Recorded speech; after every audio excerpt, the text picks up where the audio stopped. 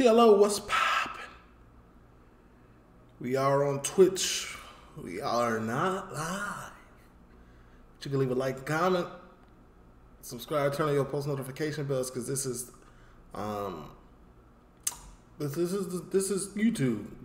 I forgot my intro. That's tough. I'm gonna edit that out, man. Um, what's this behind me, man? This is the lit one live, man. This is if you miss any lives from YouTube or you miss any lives from Twitch, they go on here. Uh, we do got the Patreon. Ooh, definitely forgot to record for this for tomorrow, but what time is? it's like 1 a.m. right now, but you know, let's see if I can get it done. Uh, and we got the Discord.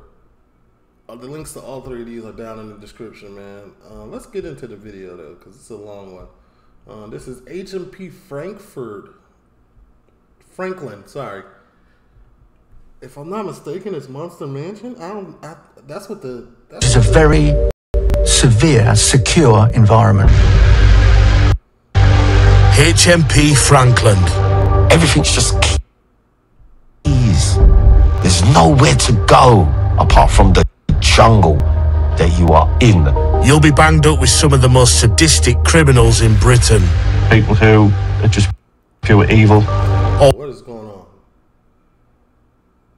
Come on, buffer. Or walk the corridors with a triple killer. He is a manipulative, sly, unfeeling monster. You might even come face to face with a man who has murdered children. Because of Huntley's fame and notoriety, other prisoners were jealous of that. As an inmate in here, I don't know about that. I, I can't second that type of behavior.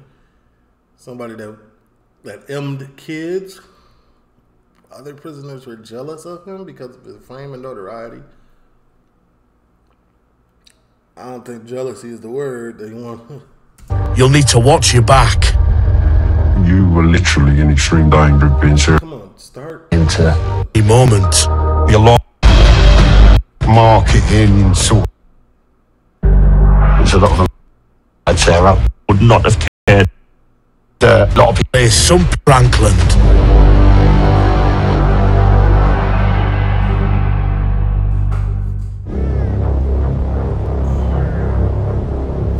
In the beautiful countryside of County Durham lies a high security prison. HMP Franklin.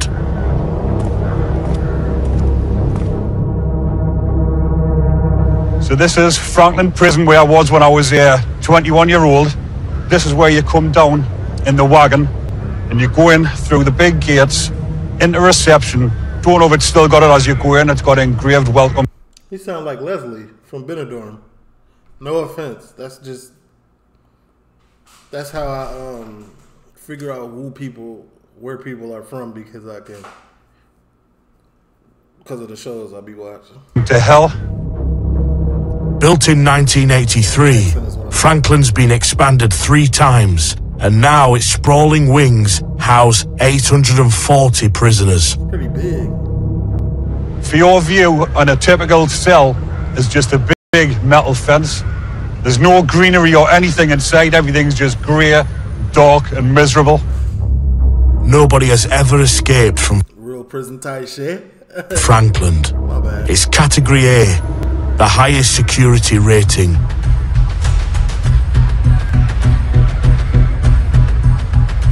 If you went over that wall, there would be a big gap in between, and then you've got the big metal fences, and then you've got the barbed wire.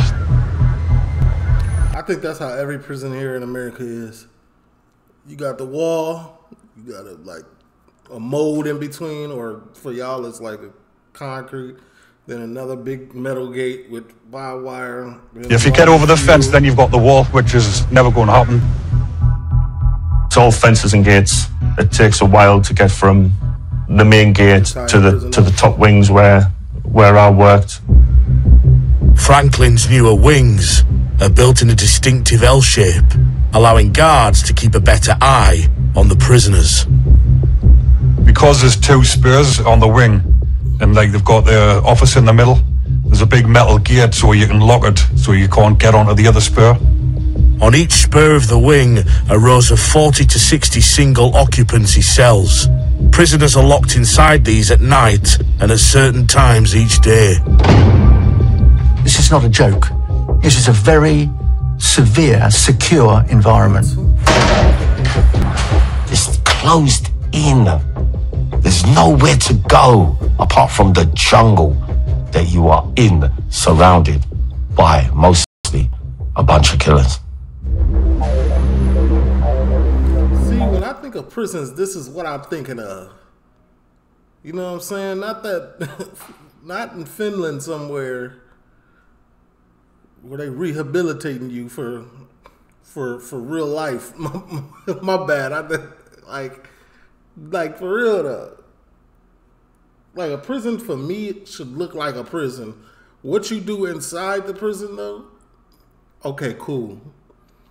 You know what I'm saying? We can rehabilitate, we can offer everything that you should be offering to get people back on their feet. But as far as aesthetically, man, let the prisons look like prisons, man, instead of hotels. Like that. Man. Behind the high walls here are some of Britain's most notorious. As long as you're not violating nobody's basic human rights. Notorious criminals. Some of the people that are inside of here, I mean, like you've had the likes of the Yorkshire Ripper was in here. He's just died recently from here. He had COVID. Got Ian Huntley. You've got the worst of the worst behind them walls. Um, some really sick, horrible men in there. Delroy Grant, the Night Stalker rapist. Levi Bellfield, killer of Milly Dowler. Hold on, I'm finna The Knights. down. Now, now, y'all got me bent. I'm looking for good documentaries. You feel me? And they just wheeling them off right now. Hold on, where's my notes? Cause y'all be thinking I don't be really, you know, putting effort in, but I do, low key. Go back all the way. Who was this Ian Huntley? Ian? Um, some really sick, horrible men in there. Delroy Grant, the Night Stalker rapist. Levi Bellfield, killer of Milly Dowler. The Levi Bellfield. only man in Britain to have two whole life terms. Michael Adebolajo, the killer of Lee Rigby. It's home to Wayne Couzens, the killer, police killer Who? This one. Who? of Lee Rigby. It's home to Wayne Couzens, You said Wayne? Hold on, one more. Adebolajo, the killer of Lee Rigby. It's home to Wayne Couzens, the killer, police killer of Sarah Everard. People who They got good you just folk. know are, are just pure evil. if they've been notorious in the, what you deem as notorious in the last 20 years, then I would have met them. Murder, robbery, violence, drug dealing, fraudsters, uh, burglars, aggravated burglars, robbers, murderers, gangland figures. You know, you say the wrong thing to the wrong person on the wrong day, you could end up with a pencil stuck in your eye or, you know, a six inch nail stabbed into your throat. I don't think anyone was prepared mentally for the difficulties they might confront dealing with so many highly dangerous men. This is giving me a real uh, Florida penitentiary type feel. Man, shout out to the first responders, man. Can we get 100 likes on this video? First day, please. That's I'd appreciate that, gangy, please. I say if I ask nicely, shoot, get a better response out y'all. If you've got a serious enough sentence to be sent to Frankland, your first day will beginning with a rude awakening. Door opens. Bang. Right. I mean, you're on the move. Huh? On the move? Well, you're going on a long trip now. You're then locked into a Category A van. If you're high risk or exceptional, you'll have police outriders or you'll have a helicopter which will follow you all the way to your next prison. The sweatbox is like that. And a little cubicle. Your only clue on where you're going is trying to get a glance at road signs and where you're heading. You'll be handcuffed from the van to the reception area. First thing on arrival, you just think like, who the fuck are these? You know what I mean? Like, They'll be strip searched to make sure that they've brought no contraband from the previous jail. totally high security. Seeing the screws standing all over with the dogs, got the uh, guard dogs and that. Everyone's out on the wings, like looking at you to see who's coming, the fresh people coming in on the wing. People will be curious about who you are. They will be particularly curious about what you're in prison for. You'd be given a bed pack for your bedding, towel and all that. You get your vape or your unvape. And you're banged up behind the door. As you come through the door, put your hope aside, mate, because anything you're hoping for is not going to bleed and happen. Real tight But before you get settled, there's something you should know about Franklin's screws.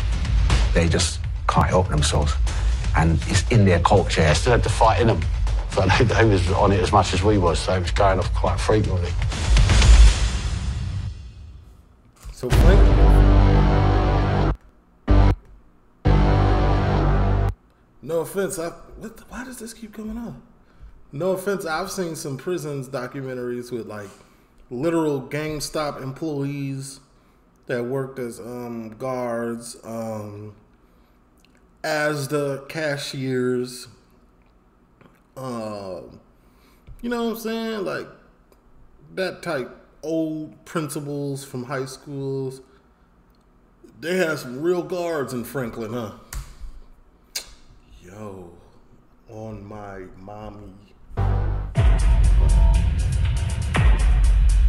They got You've only just arrived at HMP Frankland, a Category A prison in County Durham, and already other prisoners will be warning you about some of the screws here. When I worked at Franklin, there was quite a lot of ex-military there. There was ex, ex uh, pit workers. This group of local hard guys are some of the most feared POs in the prison system. They thought, we want something tough and north. In the prison system. He he looked like like he ready to give you a miserable time. Anytime somebody got a haircut and they fade not blended on the side, you know they're a menace. They thought, we want something tough and northern, so we'll put it in Durham. Uh, when I was in the 90s, a lot of them were ex-army. And uh, they, they used to tear up. They like to tear up. They still had to fight in them. So they, they was on it as much as we was, so it was going off quite frequently. I've experienced it and I've seen, and they deal with people sometimes. They just can't help themselves. And it's in their culture. Franklin employs over 700 people, including prison officers, and not all of them have the same attitude to the job. There's staff in there who put on the uniform and and feel like they have to be this aggressive, kind of say I'm in charge because I'm wearing this uniform, and and and that makes your life really hard. If you're a firm but fair prison officer who who understand the environment you're working in, it c- can make your life difficult. Prison regimes in the north and the attitude of prison Sound like sound like uh the police, the regular police. I believe there's good in everybody's, you know, good in every job. There's good people in every job, but there's also the people that make it tough for everybody else. officers in the north was far more reactionary and anti-prisoner than it was in the south. It's got a reputation for being run by what people call the Geordie Mafia, being big on steroids, big on violence. They don't like Southerners. If you're a prisoner of colour arriving at Franklin Prison in the 80s, 90s, and early 2000s, former inmates claim that there were rumours that would make you especially nervous. So Franklin itself has the reputation of those staff up there being worse than the rest by way of not liking anything else like the colour of white. If you were a London prisoner arriving in Franklin, the hostility you faced from staff was quite bad anyway. But if you were black and from London, then you were literally in extreme danger of being seriously assaulted. Franklin gets that reputation for, for being a racist jail just because we don't have a lot of diversity among staff, but that's just the region we work in. I can't sit and say that there isn't a problem with racism in the prison service. I suppose that ignorance goes in all walks of life. But what I can say is from 2006 to 2010, I never witnessed that at Franklin. You never witnessed it, or did you never witnessed it, or you didn't choose to witness it, or you looked the other way? It's two different. Recent report on Franklin didn't make any direct reference to racism. The chief inspector of prisons said the promotion of equality and diversity needed improvement and required greater prioritization. Nah, you. that's clear cut, my boy. That might as well say this. That this to me might as well said, yeah, it's a little bit of racism in here. We trying though, you know. And it's not just the screws who are allegedly hostile. You've got the local criminals to worry about too. So the young guys wasn't used to interacting with a lot of black people. You get into arguments with them and all that, they're quick to bring colour into it or something stupid because they never really know no better. They're all kind of shaved heads, bodybuilders. There is a type of Franklin prisoner. I would not be telling the truth if I didn't say that Franklin is, to some extent, and always has been since it was envisaged, a powder keg. New prisoner Ricky quickly discovered being from the northeast was an ad- A powder keg. Like I've always heard that term used, but I never ever knew what it meant exactly. I could go look it up, but I'd rather one of y'all just tell me, man, for the interaction of it all. So like when the way he used it, Franklin has always and since the beginning of time been a powder keg. What is what is? advantage. These were the most powerful groups of Franklin. Obviously, you've got the Mackhams, which is the Sunderland lads. Then you've got the Geordies, who's from Newcastle. Yeah, and you had a, quite a few Middlesbrough lads. Durham boy Ricky grew up with Frankland on his doorstep. On my way down there, um, coming down that road there, driving through the gates, I had a bit of a, like an excitement about us, like just waiting to see what actually is behind them walls, you know? I was like, I wasn't scared. I was like looking forward to being in there, to be honest. You was insane. You wasn't scared. I wasn't scared. I was insane. What, You you was looking forward to this? In 2007, two local guys around the same age found themselves arriving at Franklin. One was a prisoner, the other was a screw. Ricky and Craig both grew up in County Durham in the 90s, hanging out in similar places and attending similar schools. But they were going to end up on very different sides in Franklin. Was they homies I'd no? previously been in the military before I joined the prison service, so for me it was a natural progression going from one uniform job into another uniform job. People were quite surprised when I said I wanted to go there because of what they heard about the place. Ricky had slashed a man with a machete. He was sent to Franklin for GBH with intent. The mindset that I was in, I was in a sick way enjoying it. Craig had family inspiration for joining Franklin's Screws. My dad had been in the prison service for 30 years, my mum was in the prison service, my sister was in the prison service. And Ricky had a Bro came from a long line of prison guards. like I ain't never heard that, honestly. family history that set him on the path to being banged up here. My dad had spent a lot of years in jail. We, um, before I was born, he'd spent about 14 years in prison. And uh, he used to tell me prison stories and stuff when I was a kid. And from, you couldn't wait to go. That's what it sounds like is coming next. from a young age, 78 year old, like, I always wanted to go to prison. This, this is crazy. I never really had any role models, right? Good role models growing up. Always looked up to gangsters and stuff like that. And obviously getting in there and being surrounded by them, I was like loving it really. Like I've heard like before, like I, I always looked at the gangsters. I ain't had no real role models. But like going to prison to meet them is like crazy. You ain't want to do what they was doing on the free, in the free world. Obviously, you was on some some debaucherous stuff, but When his cell door slammed behind him, the young Ricky was in a strange frame of mind for a man who had just lost his freedom. See, on the first night, um, when I was in my pad by myself, I was looking out at the window and I had my music on because obviously the lads could give us a hi-fi and that. And then I was listening to some sort of uh, dance music.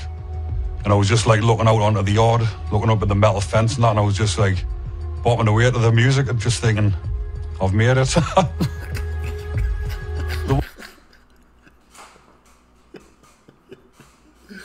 ah, hey, this is one of the best people I ever seen in a documentary.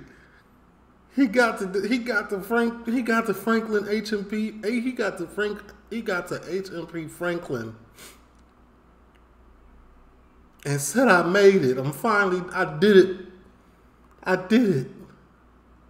We made it. I'm here now. Look at me now. There was some elements in the prison service that reflected the army because there was a lot of ex-military still in the prison service at that time. So it was it was nice still having that sort of regimental aspect of it. Just taking pride in your uniform, making sure you're presentable, everything run on a time in the prison service just like it did in the military. So yeah, it was it was it was a nice continuity. But while Ricky was excited to arrive in Franklin, this prison was about to wipe the smile off his face. So the second day that I was in Franklin, they, um,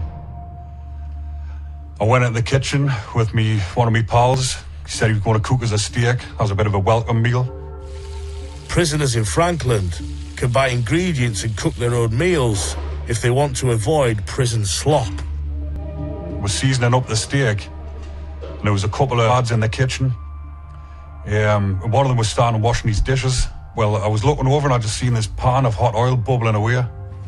And like I looked at it and I thought, I wonder what's going on there because it just seemed a bit out of place, a big pan of hot oil bubbling away. Um, and some lad came in, picked it up, tipped it over the back of his head. Burnt him bad. It burnt him bad. You know what? It's not a nice sight, you know. It's the worstest thing you can do to someone.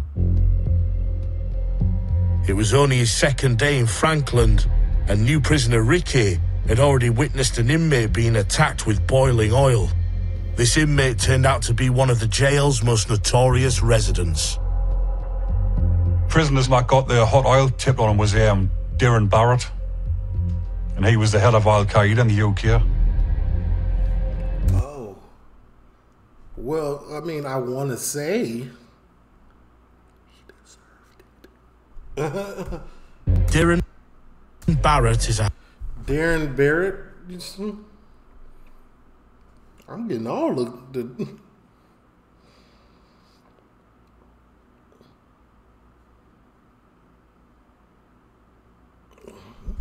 high profile terrorist, thought to be senior in Al Qaeda.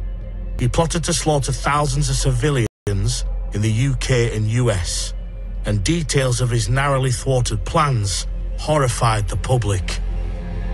He travelled to the United States and started picking targets, major targets for terrorist attacks. Um, the World Bank, the International Monetary Fund, New York Stock Exchange, Citigroup.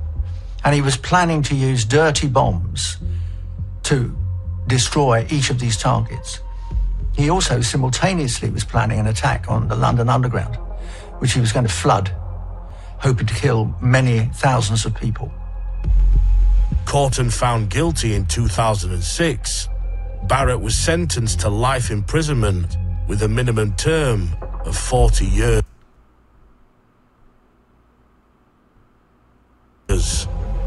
Barot is sent to Franklin after his conviction is put in the a minimum term of 40 years. Like, can we give life without parole? Like, is there not, not, not a such thing as life without parole in the UK? among the ordinary prison population. He was an extremely dangerous man, softly spoken, surprisingly intelligent, and utterly deadly. If you're guilty of terrorist offences, the authorities need Category A security to keep you under lock and key, making this prison an ideal choice. One of the things that Franklin has got is a lot of terrorists. at least 25 at any one time. In March 2022, there were 159 terrorists in prison classed as Islamist extremists, and 57 categorized as extreme right wing. Many of the most infamous and deadly are housed at Frankland. The prison is home to Michael Adebolajo, the killer of Lee Rigby, with a machete in the car. Hashem Abedi, who helped to plan the Manchester Arena bombing in 2017. Franklin also includes the murderer of Joe. What? What? They, hey, they dropping Manchester Arena bombing in 2017. Frank. Majesty. Hold on. What? What was it? Who helped to plan the Manchester Arena bombing.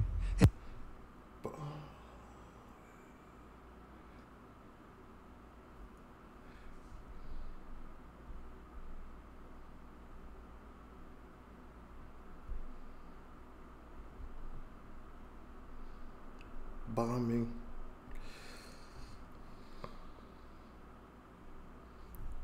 in 2017. Frankland also includes the murderer of Jo Cox, the MP, Thomas Mair. Craig remembers dealing with notorious terrorists as part of his job at Frankland. When they started coming in in 2005, 6, 7, 8, the, they were kind of well-known individual terrorists or terrorists who you'd who you'd heard of for weeks and months on the news, and then they were stood in front of you. Um, so it, it was quite an interesting time, and If any of the names they saying are standing out to y'all, which I know they are, like say them in the comments, and you should do a reaction. Find something on this person. Find something on that person that he mentioned. Seeing how the prisoners were going to deal with that. Franklin is a microcosm of society. And society in Britain changed in, as a result of the 7 7 bombings in 2005. If anyone now doubted what we were seeing was a coordinated series of terror attacks, confirmation came just 10 minutes later. A number 10 bus passing through Tavistock Square was torn apart by a bomb placed near the back on the upper deck. It was full of people recently evacuated from Russell Square tube station. We became more suspicious, more frightened. Yes, we'd had terrorists before, but not like this, not in quite the same way. At Frank, Honestly, I haven't heard of none of these things that he's talking about. Like that 7 7 bombing. It, none of these. I think I heard of Ian Huntley. But n- I ain't really heard of none of the names. Frankland in the mid to late 2000s, attitudes towards prisoners in for terrorism were becoming increasingly hostile. Yeah, A lot don't of they people have, Don't they normally have their own wing? obviously don't like what they're in for, so then, then they do become a target. The attack on Barot rocked the jail. New prisoner Ricky could sense that things were about to escalate. And about two weeks after, another terrorist that was left on the wing by himself. Obviously, he was probably feeling vulnerable, thinking that he was going to get attacked. So he's walked up to one of the Geordie lads that was just sitting there eating his tea and went up behind him and just went like that and tipped the pan over his head. But this went over his full head, all down his face. And his head just blew up like a watermelon. And this fresh attack wasn't to be the last of the so called juggings at Frankland. Scalding someone with boiling hot. It just seemed to be popular amongst prisoners to throw hot oil over themselves.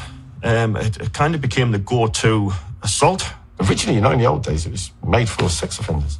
For somebody to do to do it has to be serious or has to be a hit. Prison officer Craig got used to dealing with scalded prisoners who had skin flaking off from attacks with boiling oil or water. There was one prisoner that I saw it. It was actually worse than what I what I previously thought. We just put him in a cold shower, and his back, his chest, his face, his head was all was all really badly burned. I think that that might have been actually the last incident. I think then after, after that they did they did start banning oil in the prisons. But the chain of after the first incident, I mean, after the first incident, it should have stopped. The events set off by the attack on Dhiren Barot were only just getting started. Terrible thing to do to what I believe as a peaceful man, as I know him, to be honest. Who are you know? talking about? If you're going to harm somebody that a lot of people are close to, people are going to get the ump. Most of Frankland's Muslim population have nothing to do with terrorism. 99% of Muslims in prison are not in on terrorism charges. But seeing fellow Muslims being attacked by white prisoners sparked a conflict over race and religion. So when Muslims get attacked, you know there's going to be uh, there's going to be a comeback for it. It's as simple as that. The atmosphere on the wing when you walk in, Man, there got to be some type of mitigating circumstances, though. Like, I get it. Like, in these type of prisons, you got to roll with who you roll with and keep that like that f- for protection purposes. But come on now. Look what bro was plotting. and, and that sounds strange, but you, you can some days you can walk on the wing, and it, it's you can just feel it. You can feel that tension. And it did come to a point where the whole wing went up. Everyone was fighting each other. It was like the Muslim lads against the white lads. And it went off like big style.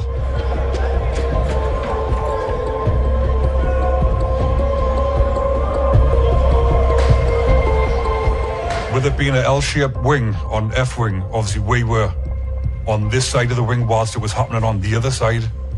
Um, and everyone started running towards the gates, but the screws locked the gates so nobody could get through. And obviously, you could just hear all the commotion. The alarms were going off. The screws were running on the wing. It was just going off for about half an hour. And I was oh. glad I was round this side out the way. The screws eventually regained control of the wing, but the tensions and conflict sparked by the attack on Barot were lasting. So then it develops. It becomes us versus them. The non-believers and the believers and And one of the most loathed men in Frankland chooses a side in this conflict, perhaps hoping for protection. He's got no respect in the system whatsoever. And to make it even worse, he's a big lump of a geezer, which makes him more of a target for people.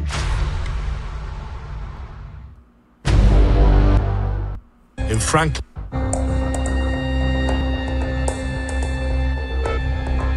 in Frankland prison in the 2000s, there were growing tensions over race and religion, and prisoners were picking sides.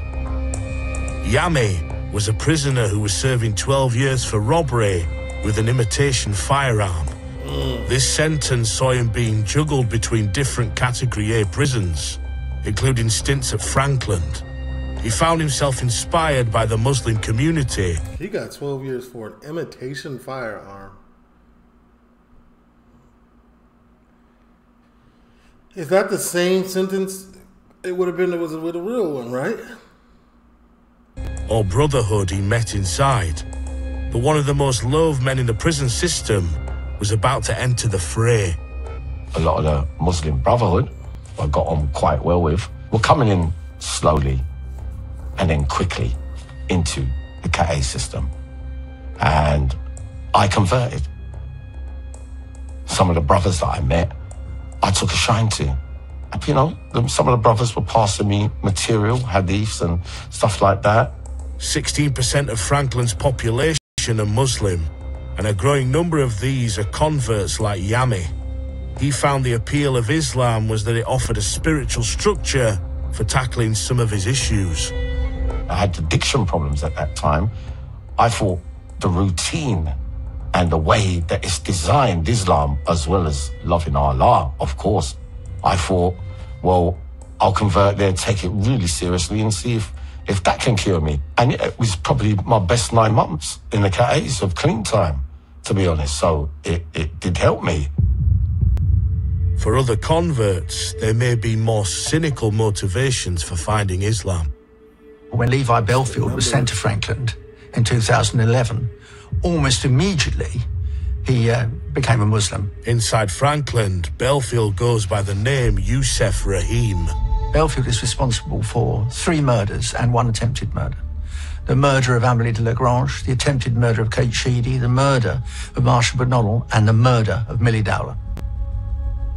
Bellfield is one of the very few men in Frankland and in the prison system as a whole to be serving a whole life sentence.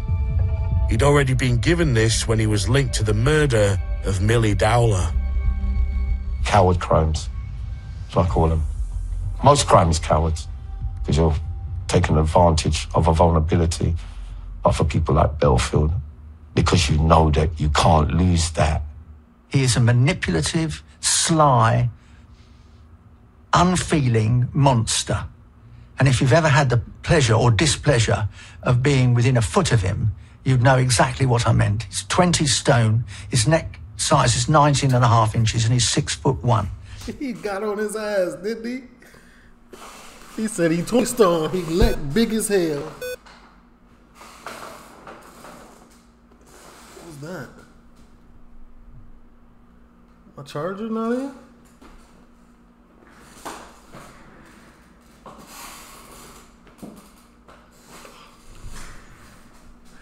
Can't, can't play them type of games, huh?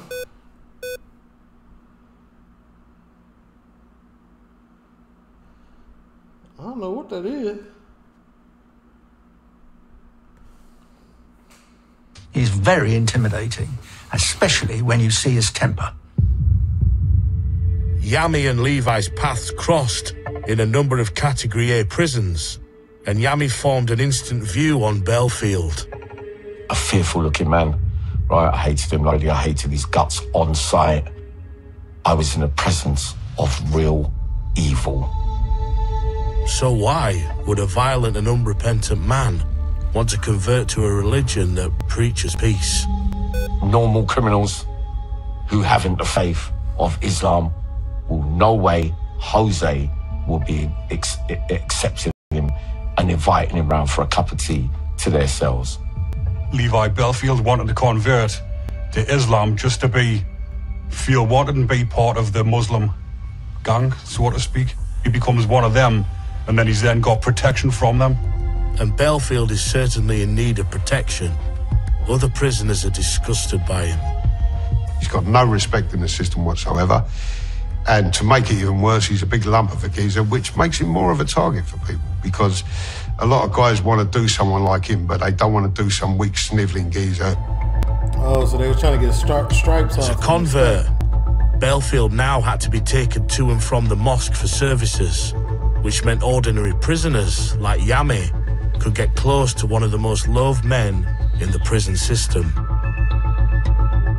He said a couple of goodbyes to a couple of brothers, and then I made my move. As I was going past, he turned his head that way, looked at me, and the screws were standing there, like waiting for him to stop holding court and get back to where we're going. So as he turned round, faced me, I headbutted him on the bridge of his nose, and blood started pouring out of his nose. His face went purple. He never got no no chance of retaliation, uh, and I carried on moving away um, back to my wing. Whatever they might privately feel about Did he just say he did a drive-by headbutt?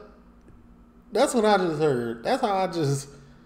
Let me hear it one more time. That's how I just decoded that he did a drive-by headbutt. and I carried on moving. Purple. He never got no.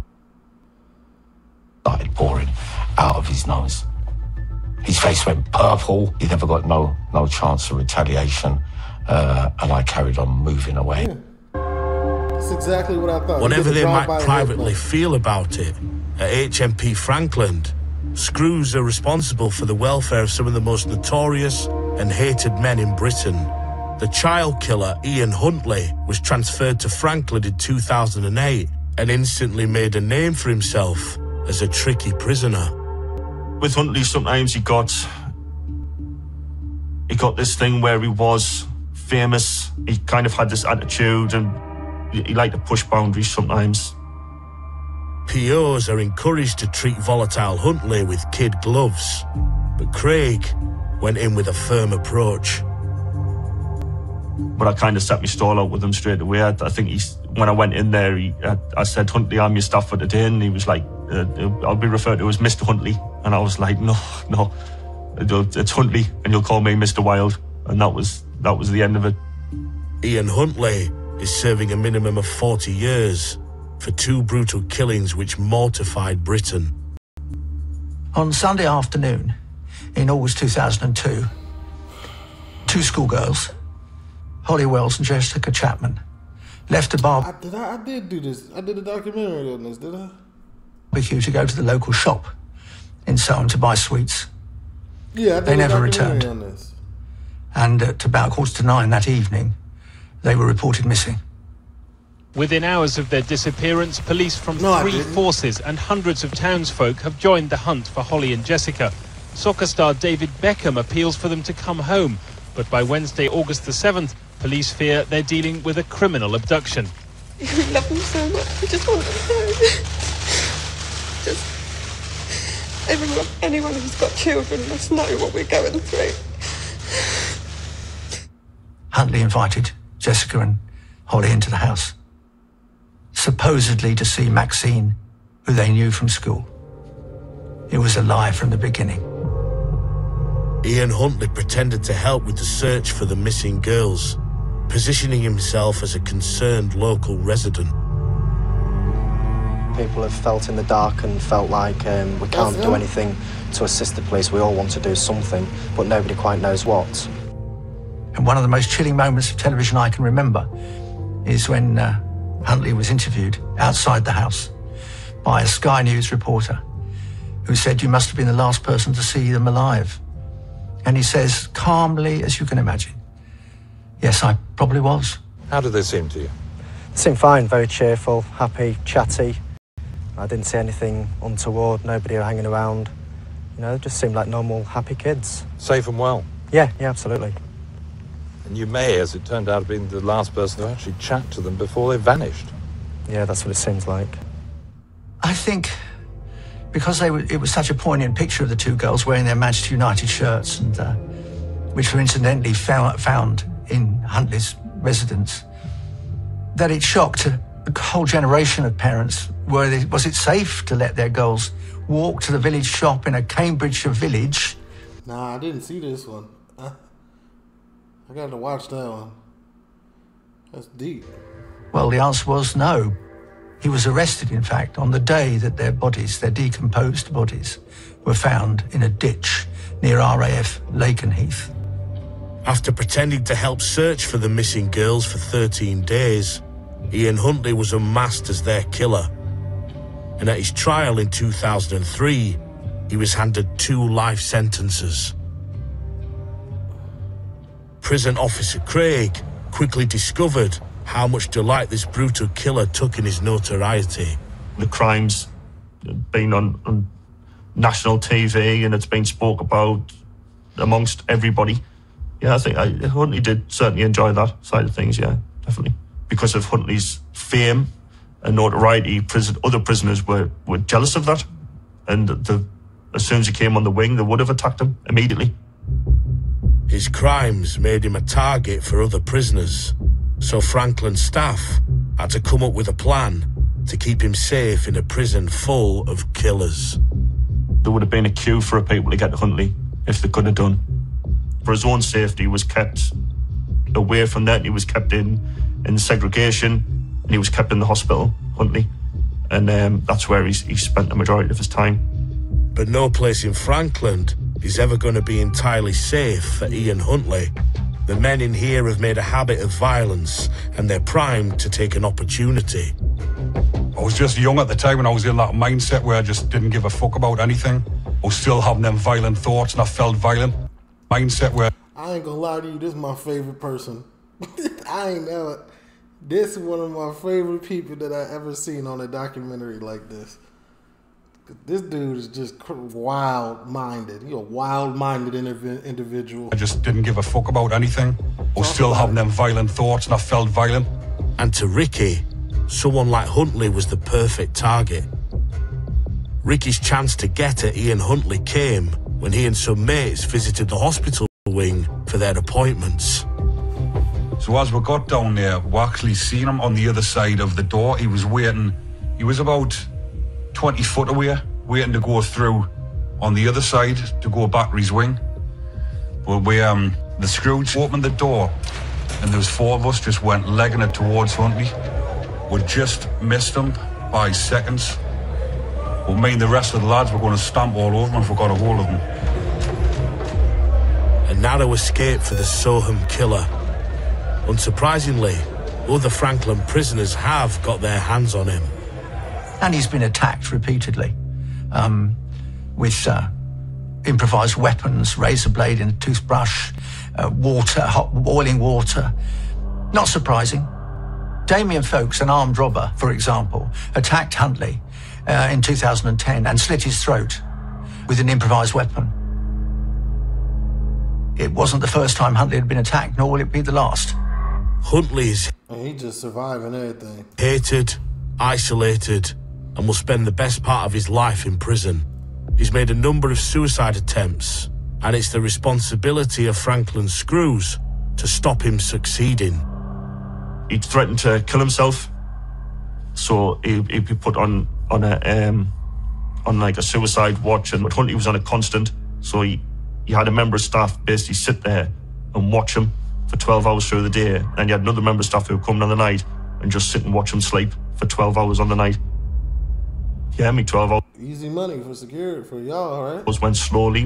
While some may consider Huntley to be among the worst of the worst, prison officers have to put their personal feelings aside, like Craig did, and accept that part of their job is looking after prisoners like him. It would be hard going in there and dealing in them situations and dealing with them prisoners, knowing that the crimes they've committed against children. But you've you've just got to be professional. You've just got to do your job. Screws at Frankland may deal with notorious killers every day, but they can't afford to get complacent. There's always a chance that a murderer will strike again. My arm just gave way, and that the, I, I saw the, the blood that started to come out, and I realised that he, he severed my artery.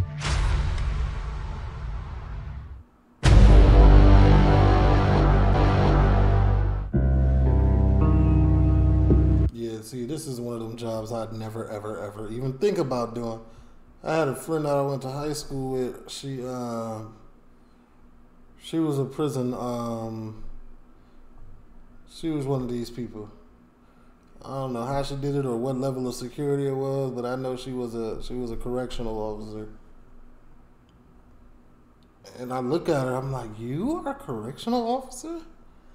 Like I know you. I noticed if something went got to, I, if something kicked off, you would not be, you know what I'm saying, suitable. At HMP Frankland in 2010, there was a bloody clash between a prisoner and the prison officers, one of the most controversial events in the prison's history. Now, we hear accounts from both sides. Kevan Thakrar was convicted, along with his elder brother, of killing three drug dealers. Also convicted of two attempted murders of two women who happened to be in the house. The killing What was he trying to do? Hit a lick? committed by the brothers were under what is known in British law as joint enterprise, um, which doesn't distinguish between which of the brothers actually pulled the trigger or stabbed the women. The judge acknowledged that his elder brother probably initiated the killing, cold blooded killing, as the judge called it. Both brothers received life sentences and were sent to Category A prisons. In 2010, they ended up on the same wing at HMP Frankland, the wing that prison officer Craig Wild was working on. We had Mikey Thakrar as he went by arrive on the wing, and he, he, he- he wasn't a problem. He was quite flash in how he handled himself. He liked his designer gear, and then we had his brother arrive on the wing, um, probably about eight nine months later. It changed then. P.O. Craig says that when Thakrar arrived, Hey, sometimes all it takes is a little family member to get there, then they really become one, one, one, one strong entity of debauchery. both brothers started acting out. They started becoming a bit of a control problem, both of them. They kind of fed off each other. Craig says that prison officers put Kevan on the basic regime to sanction his behaviour. So he'd been put on basic and he decided to barricade himself in his cell. We thought, right, we're going to have to go and now get kitted up with helmet on and the shield and go and get him out of the cell. But so when the call came through and they said, no, just leave him. The following day, Craig was on duty and says he saw a female prison officer approaching Thakrar's barricaded cell on her own. So I told her to wait. And I went down as and I got as I got close to the door, I just said, Is he all right?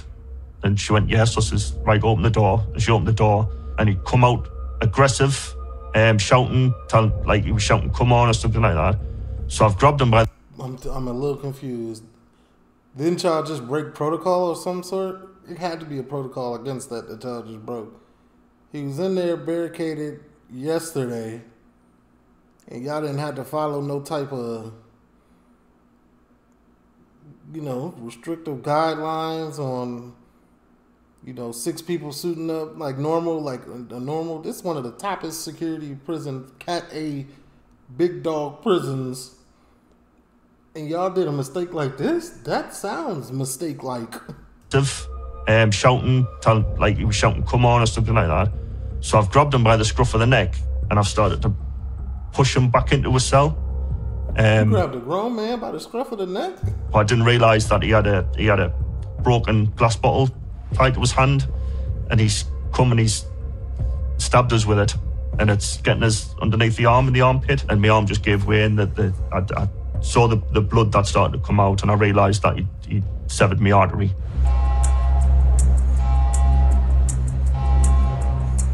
I was running back along the wing. Two members of staff came in and Under that armpit is deadly spot, man. I took it in turns, just pressing and sitting across my chest and pressing down on the wound to try and stop the bleeding. And I started to get more tired, and I just thought, yeah, maybe maybe this is it now. You know, I was I was going to bleed out there, there and then in this in this room in the middle of a in the middle of a prison. I'd lost approximately eight pints of blood by the time I got to, to University Hospital.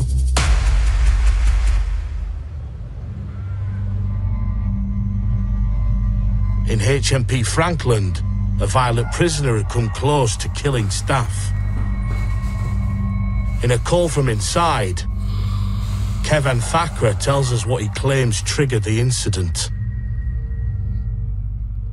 You know, being Asian and Muslim in Frankland is, uh, I mean, the, the racism there from both sides, the employees and uh, the prisoners, it, it's been the case for decades.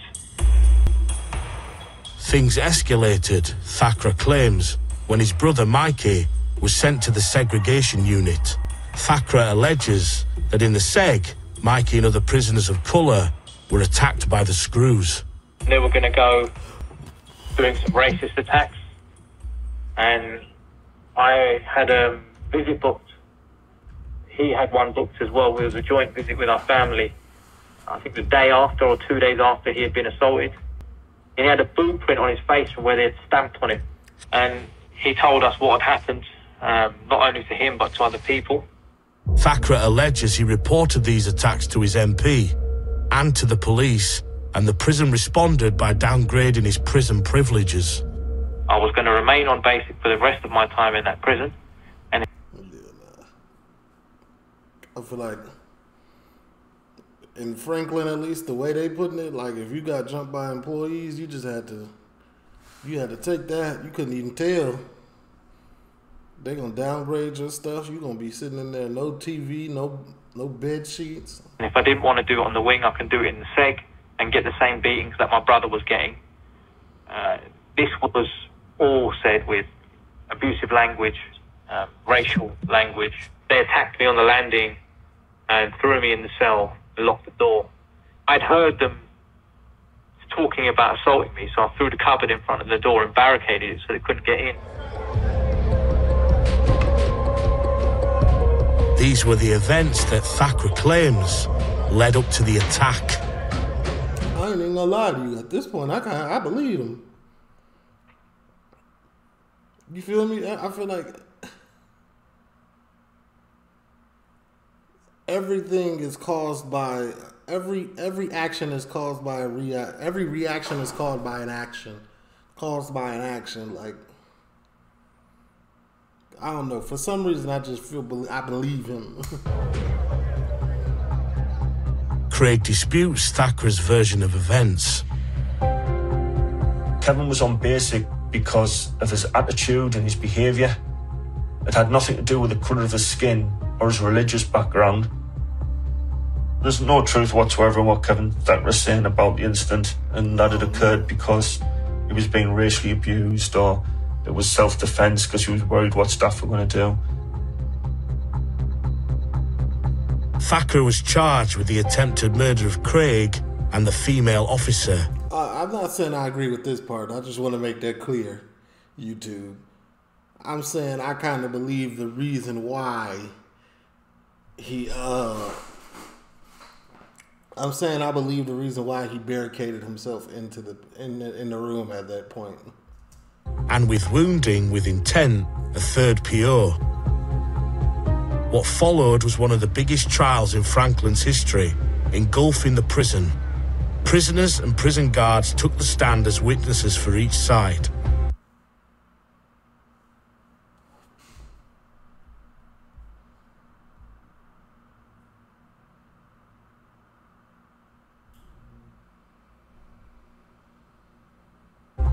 Thakrar argued that the attack was a preemptive strike and he acted in self defense as he believed he was going to be attacked by officers.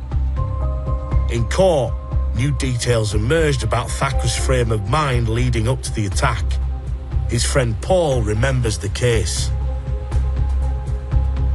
A prison psychiatrist who actually initially uh, was there for the prosecution basically jumped sides and said that Kevan suffered with a post-traumatic stress disorder. So when these staff entered his cell, that triggered him. That is why he fought back. Thakrar's PTSD was diagnosed when he arrived at Frankland, but it stemmed from being attacked by prison guards in a different prison. In court. Oh. PTSD, PTSD do that. PTSD is normally accompanied, accompanied by paranoia it go one in the same kind of in most cases. So that could make sense. That, that, it does make sense. Or the jury must have accepted that in that state, he genuinely believed force was needed to defend himself, and he was cleared of all charges. See what I'm saying? I wasn't wrong when I said I feel like I believe him. He sound believable it just came off as super believable. And I said, I don't know why I believe him. But see, PTSD make you think that you really need to go to those measures. See, and I was right for believing him, somewhat technically. The jury concluded or agreed that he was probably suffering from post traumatic stress disorder and didn't therefore increase his sentence. It was a serious blow for Craig and the other injured officers. He could have killed me that day and killed another three prisoners or members of staff or anyone, and he just would not have cared. He would have still found a. At the same time, like I feel like some type of chain of some like something was not done right on the guard's part. Like y'all knew how volatile he was feeling at the moment. Y'all knew he had PTSD. Y'all knew he had barricaded himself into that room the day before. Like I'm not saying it's this guy's specifically his fault because the female prisoner, like, eh, so all of these things happen that were out of his control, basically. But I still think y'all should have like more guards should have went. Y'all should have been suited up. Y'all should have just just in case, you know. It's Cat A. It's Frank. It's Franklin Prison. way to make it like it wasn't his fault.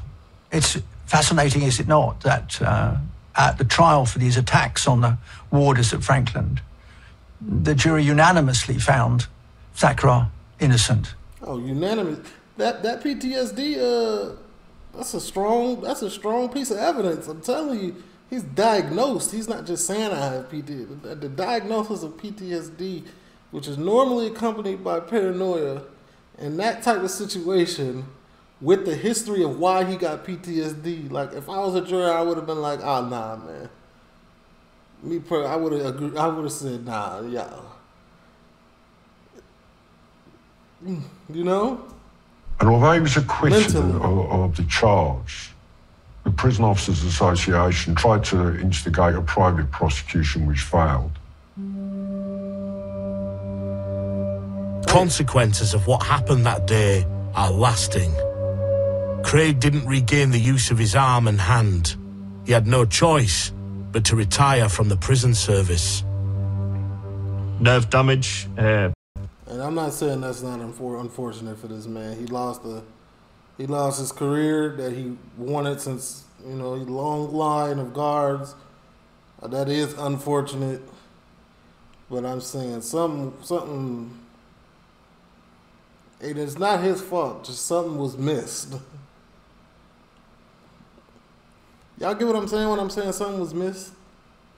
Like I'll be watching these documentaries so much that I feel like in that in the, if in that situation they would normally come in with six seven guards in full riot gear, even if it's the next day, just because it was a volatile situation. We we barricaded themselves just to make sure they would come in there with the gear, put them up against the wall, blah blah blah, do all the you know what I'm saying, protect themselves, go in a group.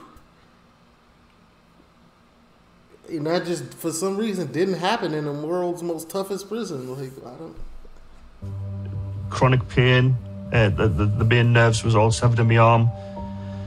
Had to have nerves and tendons taken out of out of my legs, and I ended off with a lot of muscle wastage, which won't come back. That's all scar tissue now. Uh, the deformity of my hand.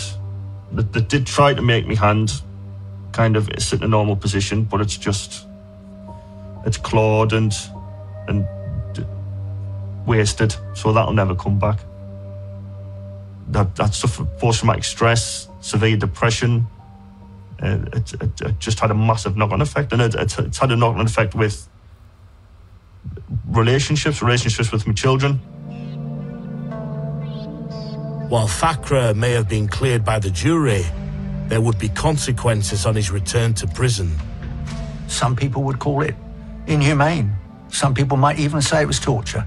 What on earth else can we do with someone who's prepared to attack prison officers with a broken bottle? Put him in the psychiatric ward. Right? Or people with PTSD don't get put in psychiatric wards. Do they know, right? But something else got to happen.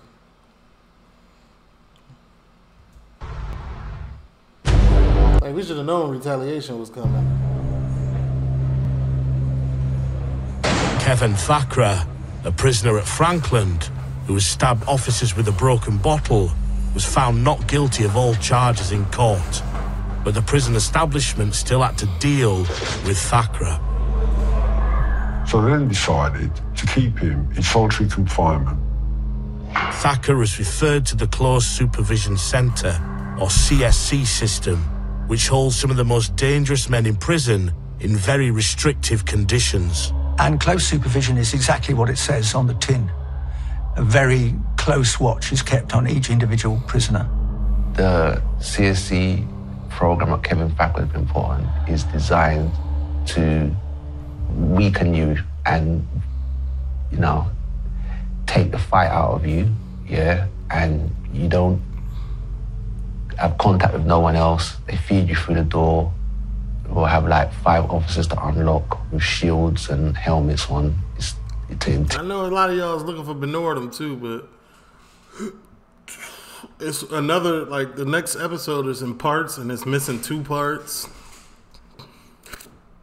Um, and then after this episode, like there's no more until season eight.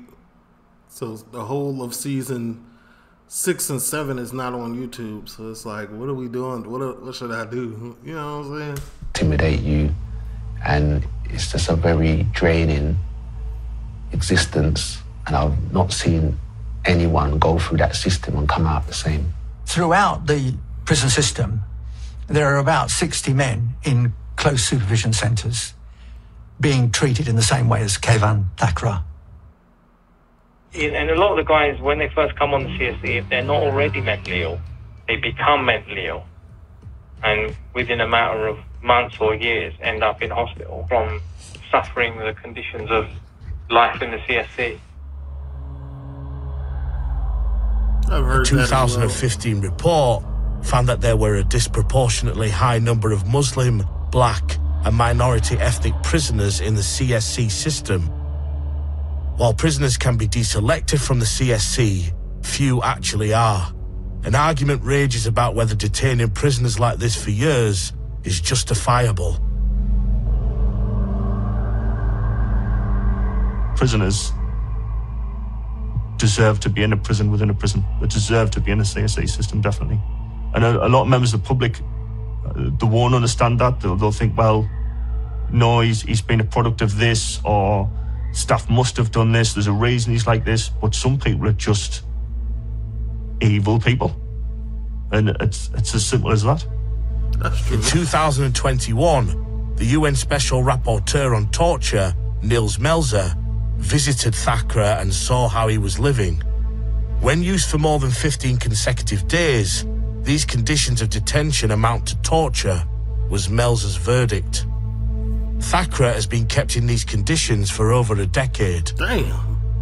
In response, the Ministry of Justice said, We strongly disagree with this depiction of close supervision centres, which are only used when a prisoner poses a significant risk of harm to others. Some people would call it inhumane. I would say that a lot of people would say, what on earth else can we do with someone who's prepared to attack prison officers with a broken bottle? Where did, where did he get a glass bottle? Like, where did he get a bottle that was like? Because they say broken bottle, they make it sound like it was glass.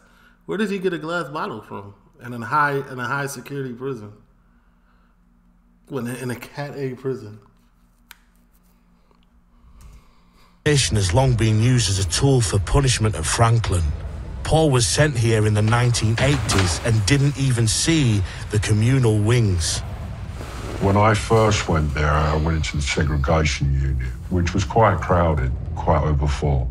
And that was because staff had a straightforward strategy or policy in relation to prisoners they considered to be difficult. They were placed straight into segregation. And it was a way that staff were able to maintain what they believe is their total control of the prison. Paul had a tendency to rebel against the screws, organising protests and advocating for prisoners' rights. It's why Frankland sent him straight to the segregation unit and ultimately it cost him dearly. I was originally sentenced to life imprisonment with the judge's recommendation that I must serve no less than 25 years. I eventually spent over 40 years in prison because of what was defined or called my oppositional defiance disorder, or otherwise my propensity to cause trouble. But life for Paul wasn't defeated by Frankland shoving him in the seg. Although he was trapped in a single cell for 23 hours a day, he made use of his cell's tiny window. How? Quite amazing to arrive in the SEG unit at Frankland, which, as I say, was quite overcrowded at the time by what staff would consider the most subversive, unmanageable prisoners. We established almost a community just by conversing and talking out of windows. You know, we would have question and answer sessions, quizzes out of the window, uh, sing songs. Yeah, but then you're down seg, you used to like pass the time, we used to have like quiz master. One of the boys would make up a load of questions. Uh, sports, I say what I was good at. Uh, I'm dumb. Uh, yeah, all sorts of some, some of them I didn't even understand the questions. to be honest, yeah. There's some very educated people in prison. I'll just take one of them. I think I used to sing Irish rebel songs, so my heritage being Irish. An amazing, incredible community of prisoners, and it was a, a mood of defiance and solidarity there. So yeah, I, albeit I was only there for 28 days, I found it quite an inspiring experience, actually. Yeah.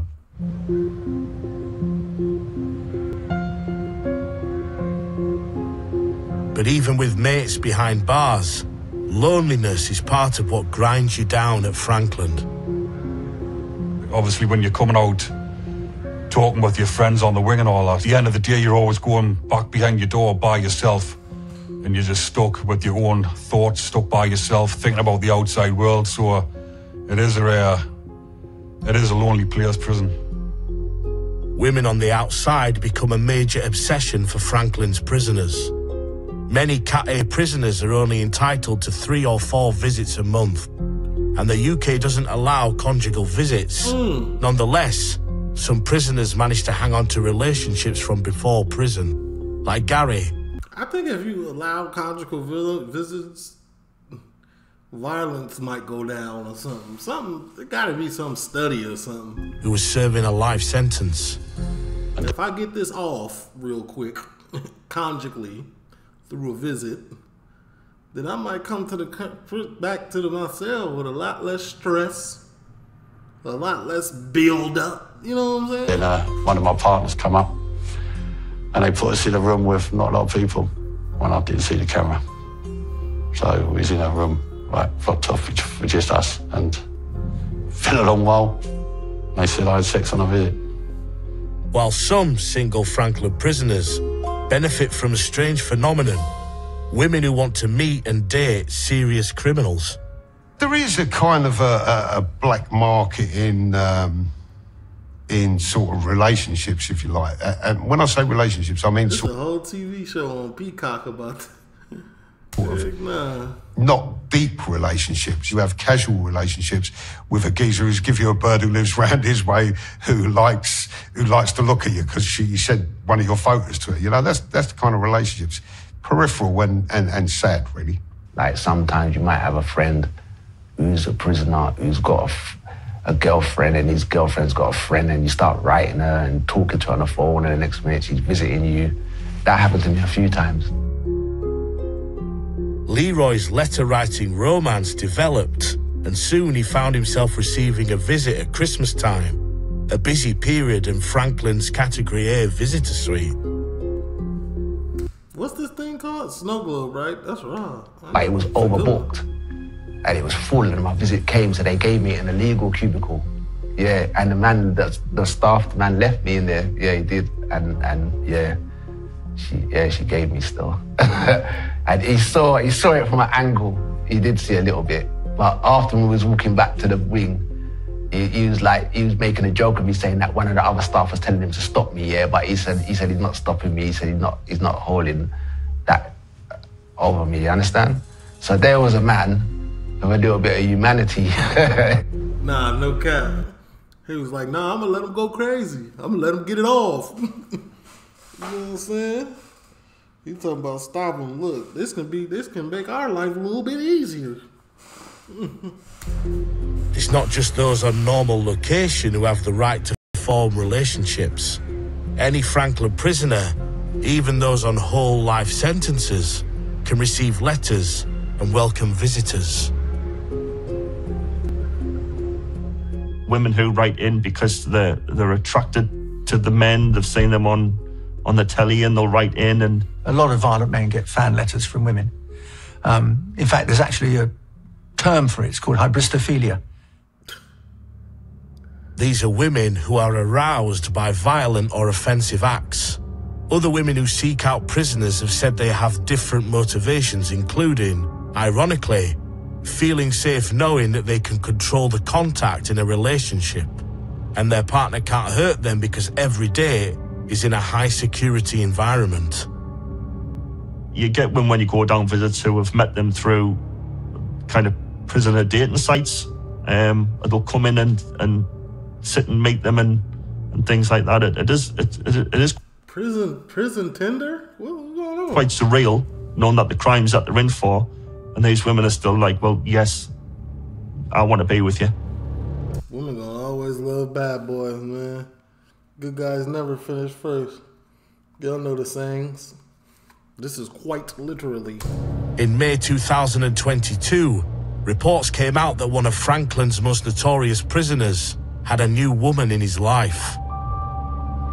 Well, Bellfield had all sorts of reasons to uh, get back into the public eye. At one point, he confessed, quotes, to the Chittenden killings of Lynn and Megan Russell. He didn't kill Lynn and Megan Russell, not his handwriting at all. He also bragged that he was going to get married. Bellfield met his fiancée through letter writing, and UK law says he can apply for a marriage license. He was given two whole life terms, which means that he will never be released. Right. But because prisoners are, qu- can be quite manipulative, very manipulative. So whether he's he's what conversation he's having with this woman, um, what he's telling this woman, but she's certainly not getting in a normal relationship. Only the governor can put a stop to Levi Bellfield's nuptials. He can refuse to let the wedding happen within Frankland's walls. They can't have I don't think nowhere else. Bellfield should be allowed to marry. I don't think he's ever demonstrated one second of empathy for another human being. Only thing he cared about was his dog. Personally, I don't think he deserves any human rights. I've talked to the relatives of his victims. Where are their human rights? It will horrify the population, the prison population and the population at large. Clearly, this is an extreme view, but Frankland provokes a dramatic reaction in many who pass through its doors. I didn't think I deserved that hmm. sentence because that sentence was just brought out for dangerous predators. It Has an incredibly damaging and devastating effect on their state of mind. Many commit suicide.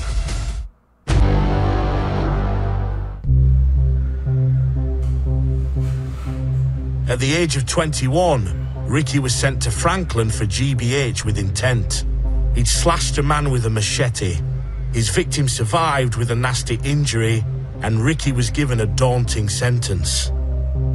The sentence I got was a um, IPP, and on paper it is 99 year sentence. You used to have your sentence on outside of your door, and on my door had like 99 years. 99 years for GBH? Hold on. GBH with intent? Grievous bodily har- harm with intent to what? To harm? Because if it was an attempted M, it would be an attempted M, not a, with intent. What does intent mean? With intent to do what? Like to harm. Like he planned it out. Is that what that means? IPPs. The wording is a little bit different than the charges that be in in America. Sentences of imprisonment for public protection came in in 2005. Oh, they were immediately protection. controversial as IPPs sent supposedly lesser criminals to prison on terms similar to murderers with no fixed release date. When I got that sentence, it didn't really sink in at first. You won't be released until the parole board think that you're no longer a risk to the public. There was quite a few people serving IPPs in Frankland because they were classed as lifers. They were just sending them all to the high security prison. IPP prisoners like Ricky were given a so called tariff, a minimum term. Ricky's was four years, but he knew he might serve years or even decades longer. That's not still a thing, is it? IPP, that's not still a thing. You got to go. In, it sounds like the minimum for an IPP, the minimum, the minimum requirement should just be the end of it. Is what it sounds like. For without an IPP, that charge would have been four years. But with the IPP, you have to serve a minimum of four years. And whenever we feel like you are not a not a threat to society anymore, we're gonna let you go. But see, a lot of that is gonna be super biased because he's in jail with a record. Like, how do you determine that? He in jail getting bigger, lifting weights, getting more jail tattoos, looking more and more intimidating. Like, I don't know. That's I didn't feel like I was a risk. I didn't feel like I was a risk to the public. So uh, I didn't think I deserved that sentence. Because that sentence was just brought out for dangerous predators. And they ended up giving it to too many people. The idea, when it was created, was that it's going to help. We're only going to use it on about 900 people. 10 times that were actually given. IPPs were intended to protect the public from violent criminals, but they were given out to people who stole mobile phones, got involved in punch ups, or jacked bikes. I know lots of people in there with s- small tariffs. They were supposed to do a small sentence and they've been in there 10 years over. Yo, you sending people that might be exaggerated. I don't know. You sending people to HMP Frankland with IPPs for stealing bikes? Some more than 10 years over. And they just Imagine stealing a bicycle and getting a minimum of eight years, a a minimum of, of, of six months, but having to serve 10 years. Oh, man. sitting there, I'd be wasting sick. away. It demoralizes them, makes them have no hope, no future. Sets your anxiety off and it makes you depressed not knowing when you're ever going to be released. And you can't tell your family back home, your family's saying like, when are you coming home or and you can't tell them because you're stuck in there without a release date. So I have to contemplate and recognise that they may never, ever, ever be released from prison has an incredibly damaging and devastating effect, uh, effect on their state of mind. And many commit suicide. Tragically, 71 IPP prisoners have killed themselves. That's around twice the rate of suicide for other prisoners. Yeah, I mean, I, I that's unfortunate, but like they're in, they're locked up with lifers, crazy type sentence. Like they're locked up with lifers. They're locked up with prisoners who've committed real dangerous crimes, who are real threats, and they stole a bike. like no, that don't even, it don't even fit. It is something that we used to talk about amongst each other and say like, not that we were going to do, but wonder what going through people's head just before they do it, and what what way they would do it. Ricky didn't get out when his four year tariff elapsed. The parole board turned him down. Yeah, when I got to Frankland, obviously I still had me girlfriend and she stuck by us. I did say to her at one point, um, just go and do your own thing, like don't Stand wait up. around for me because I could That's a stand up dude. That's a real one right there. be in for. I always say that, man. If you if you locked up for more than a year, like man, you might as well just charge it to the game. Your girl gonna be out there doing them dirty anyway. So, so just let her. for X amount of years. I never know. But then a year later, Ricky was one of the lucky IPP prisoners to convince the parole board he was safe to release. My girlfriend was waiting for us at the gates. And all I was thinking about was going to McDonald's to get a Big Mac. And uh, I went to McDonald's, got a Big Mac, and I was disappointed in the size of it. It was tiny. Had to get two of them. Judges stopped handing out these oppressive sentences. Y'all got Burger King in the UK? A Whopper is a double Whopper is way more. A double Whopper is way bigger than a, a Big Mac. Just saying. as in 2012. Good. But if you were already serving an IPP, you were trapped. Today, 1,722 IPP prisoners are still behind bars. David Blunkett, who was Home Secretary at the time, of the introduction of IPPs, has subsequently called it the stain on our history and his worst mistake. I think he was right. It's a very, very blunt weapon and didn't work. And it's left trauma in its wake. Yeah, Since- they need to take that away, and they need to review all the cases with IPPs and determine a non-biased group needs to review all the cases and let them go, man. His release, Ricky is connected with the families of some of these prisoners and has become acutely aware of how lucky he was to actually find a way out. Oh, my son's been in jail for 12 years and it's all for still like yo. I was just joking when I said that. Like I heard them say it, but I I thought they was being over exaggerating it. So I just took it and my son's been in jail for 12 years And the IPPs have been abolished for now 10 years, but yet everybody still kept on them. And there's some lads in prison being in for like 17 years for, for robbing a bike when they were 17 year old. It's just outrageous. Someone needs to be done with that sentence. That's ridiculous.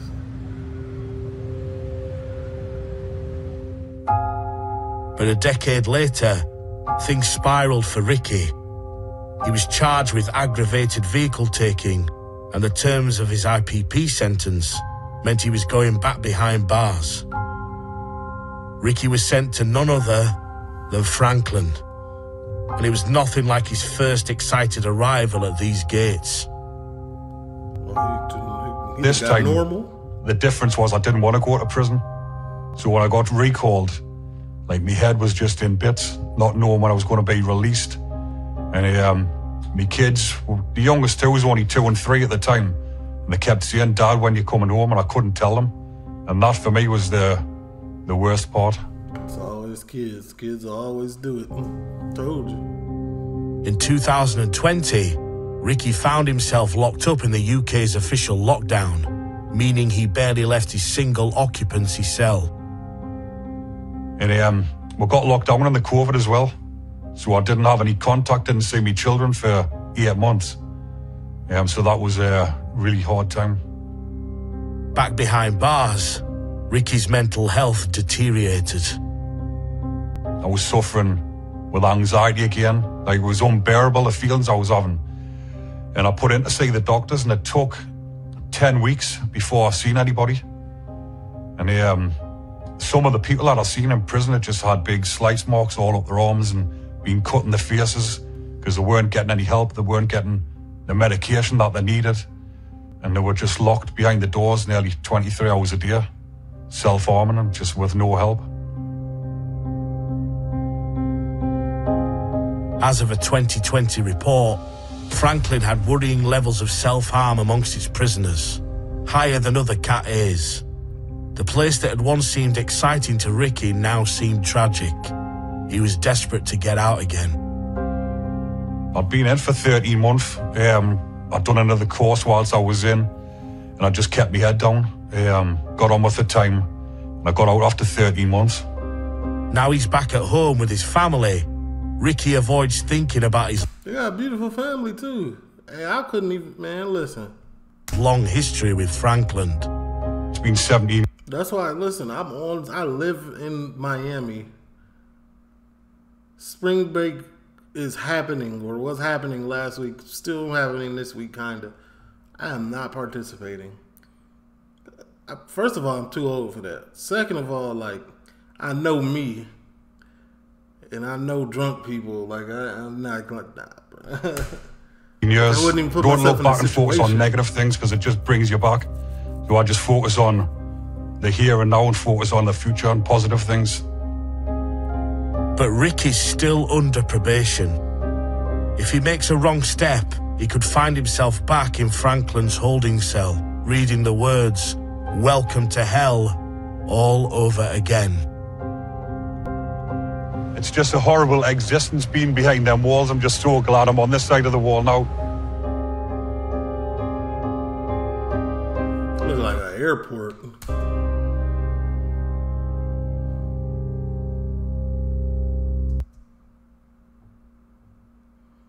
It's a W thumbnail. That's the end, right?